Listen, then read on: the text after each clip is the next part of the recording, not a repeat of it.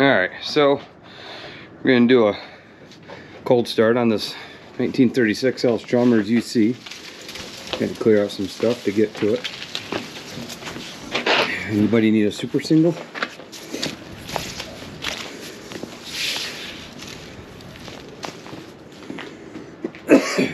it's about 45 degrees. Not too cold.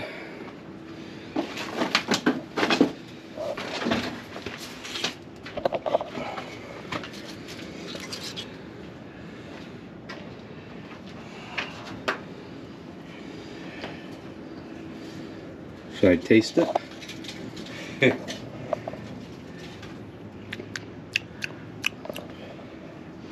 yep, straight 50 weight.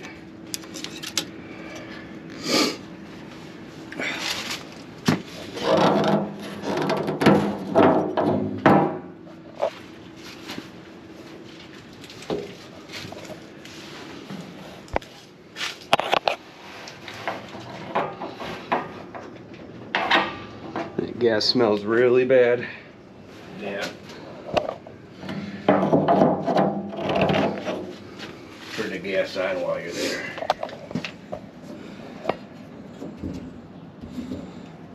Bowl's actually got some in it. Supposed to have. Can you get it?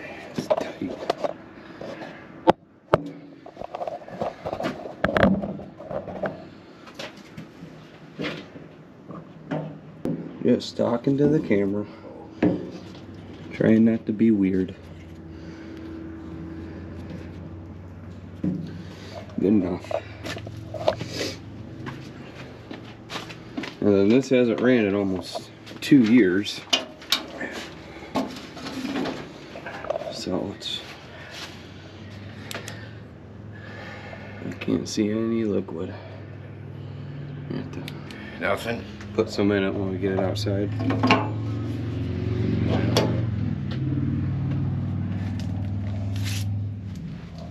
don't want to run too long without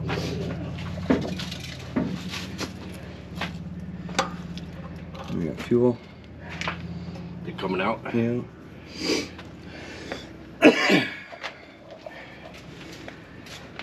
I did adjust the throttle, put it like on a, pull it, pull it out a, a little ways and then put it down to like the second and a half.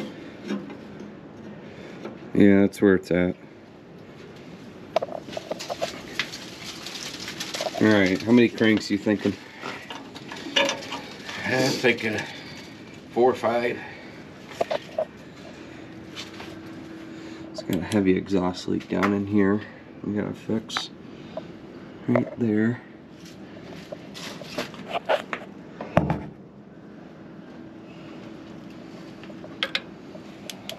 Alright.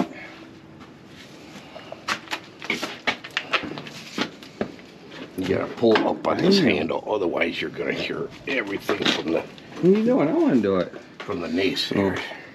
Oh, oh from the Yeah, internet commenters that we're about to have? yeah.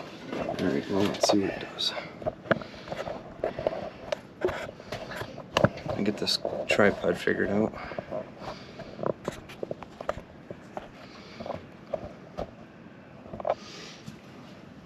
How I go from this side? Check for the Yeah. gear. Well, that's it. Sorry. Tell you, you should have looked up on it.